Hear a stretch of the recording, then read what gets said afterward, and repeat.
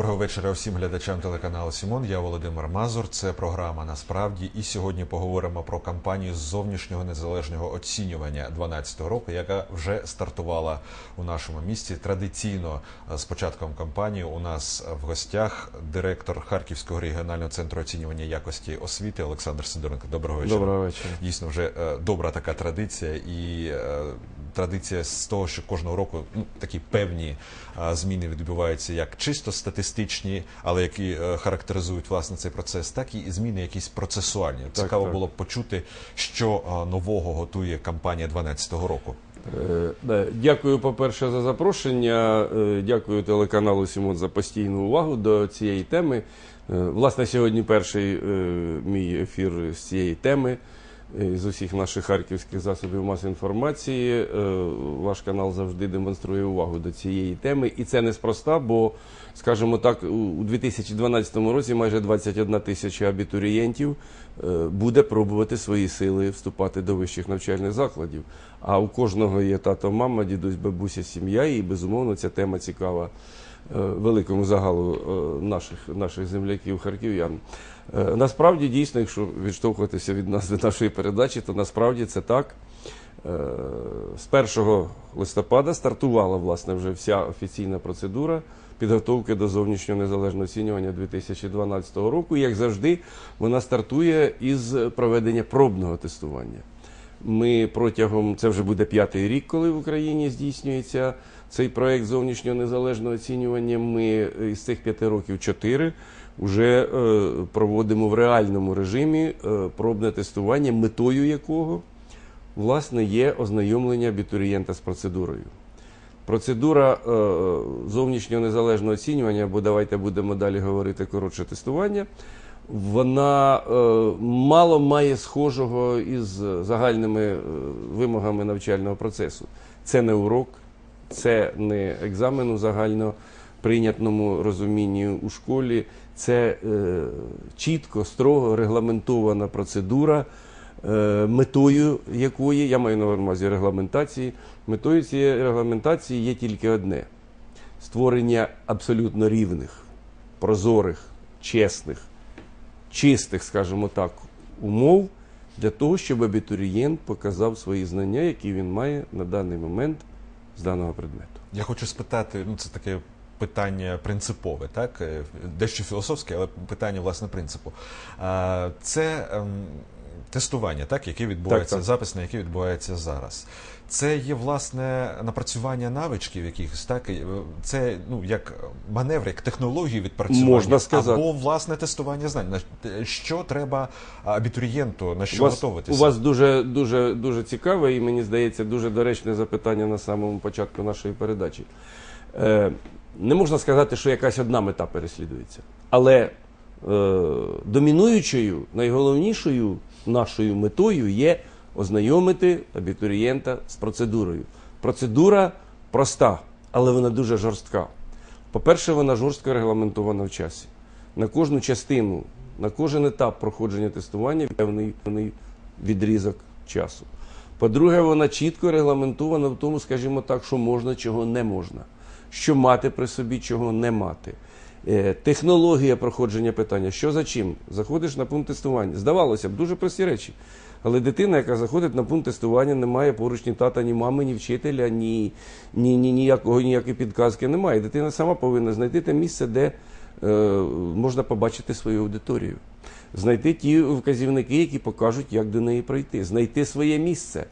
А місце жорстко регламентоване, воно має чітку нумерацію, яка повинна співпадати по кількох складових власне самої процедури. Тому е, досвід, уже п'ятирічний досвід, показує, що той, хто пройшов пробне тестування, той, хто е, обкатав цю процедуру, він приходить на основне тестування, або, як у нас кажуть, на бойове тестування, набагато спокійнішим, набагато впевненішим у своїх силах, і він не витрачає ні час, ні емоції, ні якісь переживання для того, щоб власне приступити до роботи. Бо страх паралізує, власне. Так, і більше всього паралізує невідомість. Невідомість. Якщо вперше А прийти, лякає, так, безумовно, якщо вперше прийти на цю процедуру і геть зовсім не орієнтуватися, що за чим і куди і як, то тоді дуже мало часу залишається і фізичного часу, і власне інтелекту мало залишається для того, щоб зосередитися на питаннях, на, на відповідях, власне, на питання.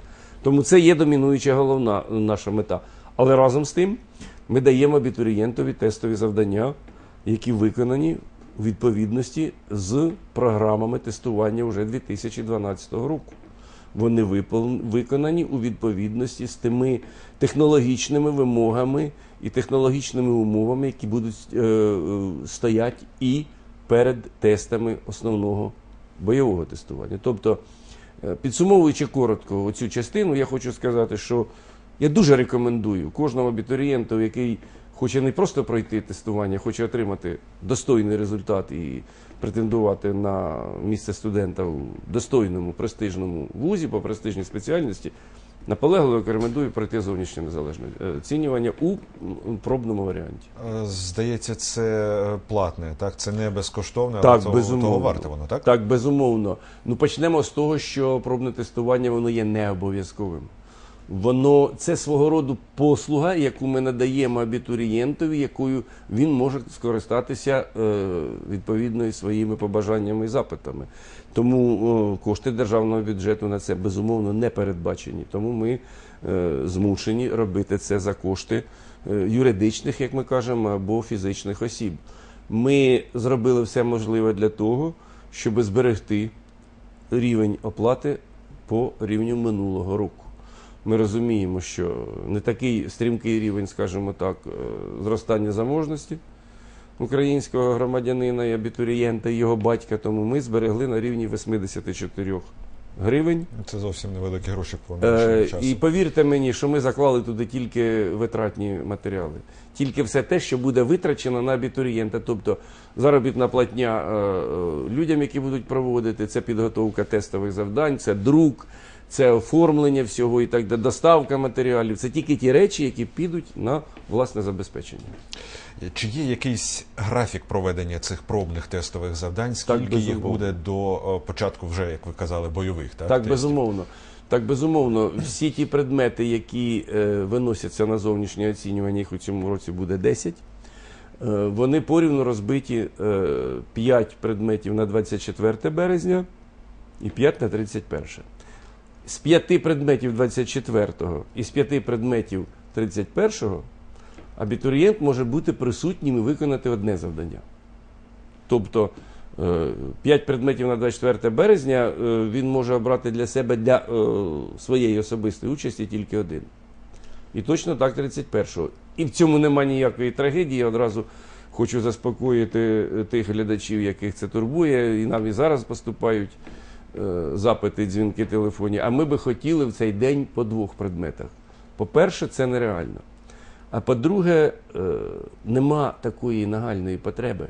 Оскільки, повертаючися до початку нашої розмови, я наголошую на тому, що наша мета це ознайомити з процедурою, а процедура однакова на кожному предметі. Але якщо абітурієнт хоче попрацювати з тестовими зошитами, він може зареєструватися на необмежену кількість предметів. І він отримає ці зошити, щоб з ними потім попрацювати. Але фізично бути присутнім він може, зможе тільки на одному. А яким чином він може зареєструватися? Що треба зробити? Е, дуже просто. Процедура вже е, декілька років е, залишається одною і тою ж. Для цього треба зайти на наш сайт. Є сторінка пробне ЗНО, є сторінка реєстрація, де покроково розписані дії абітурієнта, е, навіть того, який е, тільки навчився володіти комп'ютером на рівні користувача. Все дуже просто. Там написано, на яку кнопку натискаєш, що як ідеш по цій схемі, по, цьому, по цій е, схемі реєстрації далі. Роздруковуєш собі заяву, зразок заяви є на комп'ютері, натиснув, принтер тобі видав бланк заяви, ти його заповнив, принтер видав бланк квитанції, ти його заповнив, і, власне, все. Квитанцію оплатив у будь-якому відділенні банку, нам направив заяву. Ми отримуємо заяву, отримуємо підтвердження, що пройшла проплата, і реєструємо абітурієнта. А стосовно власне результатів оцінювання, як е, абітурієнти будуть дізнаватися про них? Е, Доречне питання. Е, Повертаючися до початку нашої розмови, ще раз скажу, що, що нашою метою не є оцінювання знань, але ми врахували і те, що абітурієнтові безумовно цікаво е, не тільки ознайомитися з процедурою, але йому ж хочеться визначити свій рівень, на якому я знаходжуся в світі, так? Грубо кажучи. Для цього ми кожному абітурієнтові після закінчення роботи, коли він виходить з аудиторії, ми йому даємо правильну відповідь.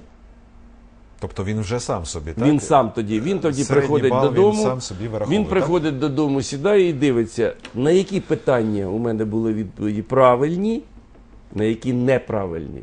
І це вже є для нього поштовхом для подальшої роботи. Це є причиною для того, щоб подумати, над чим працювати далі, по яких питаннях, скажімо так, є прогалини в знаннях.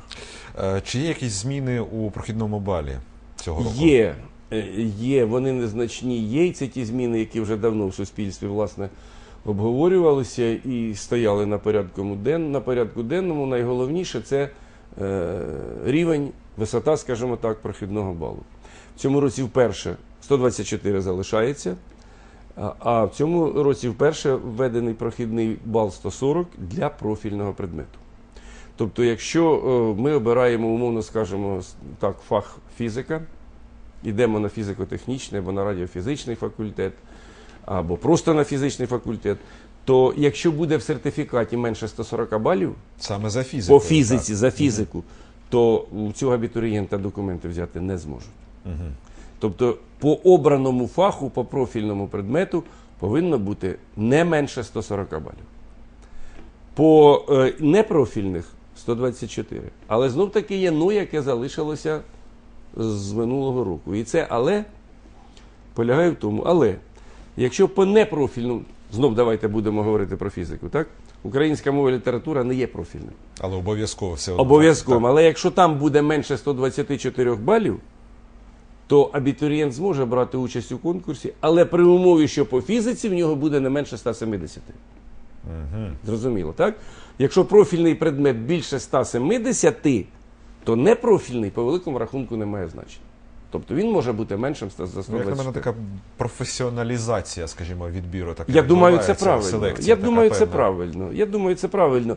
Не, недоречно, неправильно вимагати від абітурієнта мати е, найвищі бали по всіх предметах, навіть якщо їх всього 3 чи 4. не, не всі ті титани відродження, не Розумієте всі. да? Хтось розуміється Я на думаю, що це сприймається нормально. Е, Напевно, стане питання, бо у нас е, хвилина шається до кінця нашої програми стосовно графіку. Власне, ми сказали про Так. е, тестові, так? Так, Е, так. Тестові тести. Так, Так, так, так, давайте так, про так. реальні, про бойові випробування, які е, теж я знаю, відбуваються певні зміни у календарі, так? Так, е, на жаль, ми сьогодні не маємо до кінця затвердженого календаря з одної причини. Зовсім недавно, тиждень тому назад, до е, тих предметів, які раніше були задекларовані, додалася ще всесвітня історія. Тому е, графік зараз коригується. Я думаю, що на наступному тижні будуть затверджені Мін'юстом весь порядок проходження, і ми матимемо точні дати. Можу сказати тільки достеменно одне: що ми починаємо зовнішнє незалежне оцінювання, основне або, як я кажу, бойове 14 травня і закінчуємо 7 червня. Ось у цьому проміжку і будуть розташовані дні тестування по всіх 10 предметах. Якими вони будуть? Я думаю, як вони е, будуть відомі, я знову попрошуся до вас на цю зустріч, і ми тоді вже все скажемо. Думаю, що не встигну сказати насправді, якою будете тут. Так. Час спливає дуже Так. швидко, і для підприємців спливає він втричі, напевно, Так, швидше, ніж для мене. безумовно. Проте наш ефірний час сьогодні теж вже сплинув. На жаль, дуже цікаво було з вами сьогодні розмовляти. І, напевно, хотілося б е, побажати цієї кампанії так, щоб вона пройшла вдало, вдачно. І щоб Дякую за бесіду, дякую за запрошення і бажаємо те саме абітурієнтам. Щасливо вам на все добре.